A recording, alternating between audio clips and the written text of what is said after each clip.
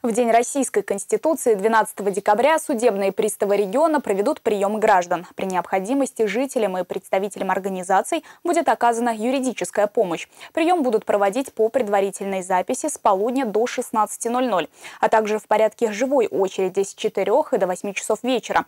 Граждане смогут проконсультироваться по вопросам, касающимся исполнения судебных актов и предписаний надзорных органов, а также обеспечения порядка деятельности судов.